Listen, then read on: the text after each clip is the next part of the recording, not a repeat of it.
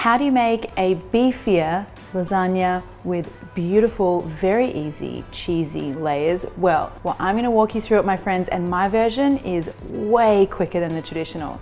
This is my very best lasagna. So first up, we're gonna start on the meat sauce. Now I have quite a few little tricks here for how we make our meat sauce in record time, but still like leveling up the flavor game. All right, let's get started in the pan first of all. I just want a little bit of olive oil. And now the beef mince. Now I have a whole lot of beef mince here. We're making like a monster amount of sauce here. If I put all of this beef in at once, it's gonna take ages to brown and color. And I really want a really like hard sear and some caramelization here because that's gonna make our sauce beefier and tastier. So just put half of it in first of all.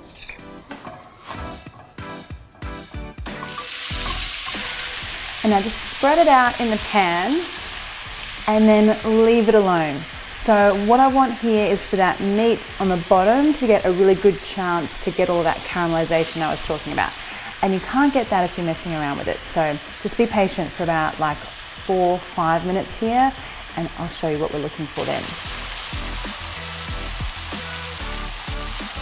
So let's have a look in here and like this is the kind of situation that we're looking for here. Now, without getting too food nerdy on you guys, that brown stuff is what happens when there's a reaction between like amino acids and sugars. It's called the Maillard reaction.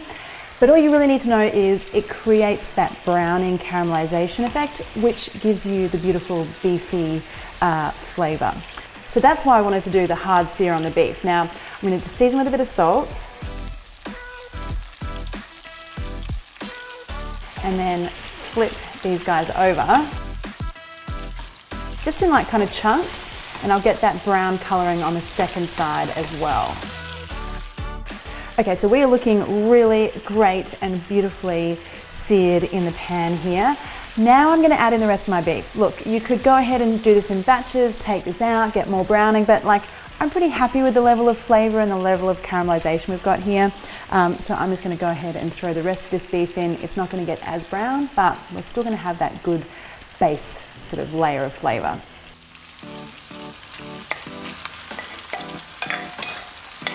Now you can get in there and start breaking everything up. Just mixing it through and breaking up those big clumps of the beef. Now my beef is just about all cooked through. Now I'm gonna add in the garlic. So if I had have added it at the beginning, uh, it probably would have burnt while I was trying to get that really lovely color on the beef. So that's why we add it after we do that.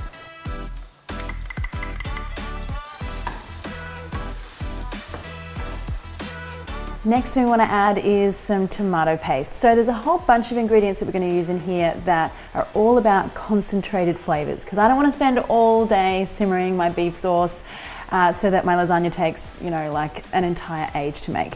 Um, so we need to rely on some of these little cheap ingredients. Tomato paste, one of them. Let's get that in there. And now for the tomatoes themselves. So I'm using a combo here. I'm doing whole peeled tomatoes and crushed tomatoes. So the whole peeled ones, which I'm adding now, they kind of like, to me, the whole peeled have a little bit more concentration than crushed tomatoes. I find there's less kind of uh, liquidy, watery stuff. Uh, but I do actually want this to be a little bit liquidy because I'm going to use some no boil lasagna sheets, hence the combo. The peeled tomatoes for the concentration and the crushed tomatoes for a little bit more liquid. Break up those tomatoes as you're mixing them through. And here come the ingredients that you don't want to tell your Italian grandmother about, uh, but these are going to help us out with boosting that flavor in a short amount of time. So first of all, miso paste. this guy is all about boosting that kind of, you know, savory, salty flavor in this dish. So that's gonna go in. And our next very non-traditional ingredient is soy sauce. So by using soy sauce instead of just salt, we're not only getting a salty flavor, but we're getting that extra savory umami kick that, you know, there's a bit of a theme here. Uh, umami is that flavor that boosts everything. So we get that in the miso paste, we get that in the tomato paste, uh, and we're now getting that in the soy sauce as well. Now for the herbs and spices, so one more traditional, one not so traditional. Uh, we've got some dried oregano here. and then some star anise. So star anise, yes, and another Asian ingredient, but star anise has this really beautiful kind of effect of making things taste beefier. Uh, so whenever I'm doing a beef stew or a braise or you know this kind of meat sauce, I like to add in some star anise as well. Now mix all of that through and I do want a little bit of time here for everything to make friends in there so I'm going to let that simmer away for about 30 minutes which is way less than like, you know, the two hours, three hours you would normally do for a ragu. So that gives us plenty of time to make our cheese sauce. And again, we are totally not making a traditional one, so uh, don't start at me in the comments below. Try it before you knock it. Um, we are gonna do, instead of the traditional bechamel, we're gonna use cottage cheese. yes, I know, it's going to be great. Trust me, the cottage cheese gives you this beautiful kind of like a little bit of a sour flavour um, and the texture is creamy and cheesy and yum. So that goes in. And then I want a whole heap of Parmesan cheese here because again, we're going with that umami, savoury, salty kind of flavour that we want here. And that goes in. And we want some cream here too. And now nutmeg. So for me, like it's the tiniest amount that we're gonna add here, but it makes all the difference. Like nutmeg just makes a cheese, cheesy sort of sauce taste so much better. All right, just a fine smattering of that. And then a little secret ingredient here is some corn flour, uh, or cornstarch is what you call it in the US. And that is gonna like stabilize the whole thing. So make sure that everything stays together and is nice and creamy and homogenous. Now a little sprinkling of salt here. And this is a no cook cheese sauce because I'm all about the easy today. So all you need to do is mix it together. So cheese sauce done, let's get back and have a look at our meat sauce and I mean, guys, look at this lusciousness uh, after 30 minutes and look at that color and how thick and beautiful it is. I mean, it literally looks like we've been simmering it for hours. Let's see how it tastes. Mm. Okay, it is crazy amazing that you can achieve that level of flavor in such a short amount of time. Those little cheat ingredients, the miso paste and the soy sauce, that has totally helped us out here. All right, now what I wanna do is get our star anise pieces out.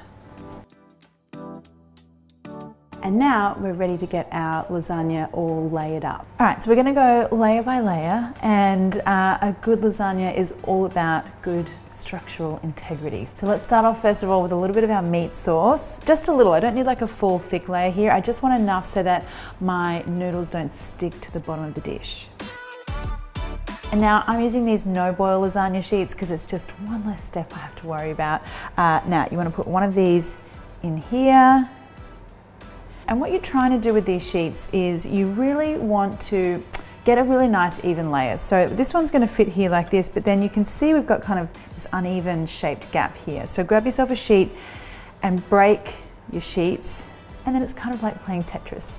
So pop that in there, break a little bit off, fit that in there, and then you have a nice even layer. All right, now in with a little bit more of our tomato sauce. And you want about a third of the tomato sauce here. We're gonna do three layers of meat. And then spread that out, get right into the corners. And now go in with half of your cheese mixture. Just kind of do little plops first of all, and then spread it out sort of as neatly as you can. Now a little sprinkling of some mozzarella cheese here. Layer again. One important thing about these next layers though is that you remember where it was that you had the broken noodles because we don't want to put broken noodles on broken noodles because that's not the structural integrity I was talking about. So get yourself a whole sheet in this section and put that down because that's where the broken noodles were, the first layer. And then the broken noodles on this side. And now go again with your meat sauce. And the cheese mixture. and the mozzarella. So now we're at our final layer. Put the noodles on top and then just pour over the rest of that meat sauce. Spread it out. And then you'll see here I've got some extra mozzarella and parmesan cheese. I want to mix that together. So mozzarella, parmesan,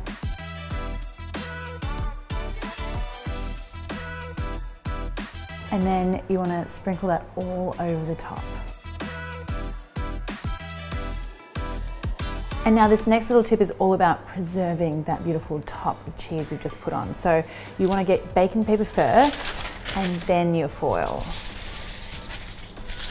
Because if you just put that foil straight on top of the cheese, you'll end up with cheesy foil and not cheesy lasagna. Now let's get this into the oven. It needs 40 minutes.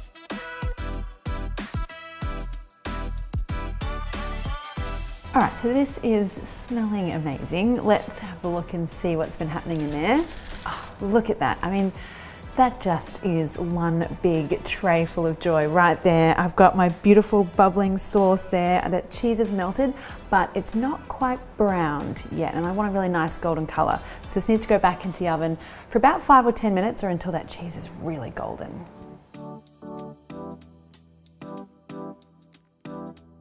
All right, so here we go, guys.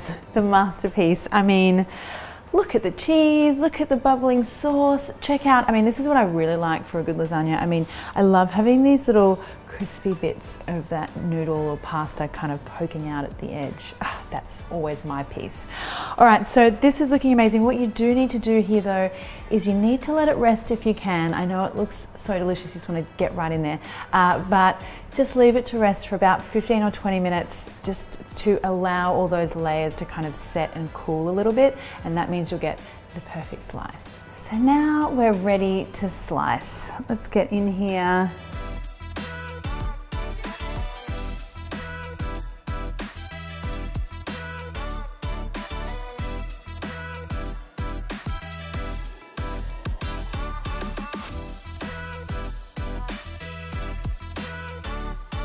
All right, this is smelling way too good for me not to get right in here. Oh, yum, look at that. This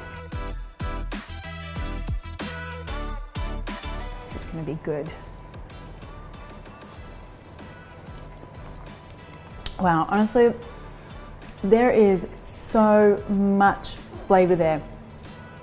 That tomato meat sauce is so beautifully intense and then the creamy cheese and then that soft pasta. Oh, I mean, lasagna just does not get any more perfect than this. I love it. I love it so much. And you know what's incredible? Like, you know how we did, we added those ingredients, right, that are not supposed to be in lasagna? but all it does is enhance the more lasagna you know, feeling. Mm. The beefiness, the cheesiness. Perfection.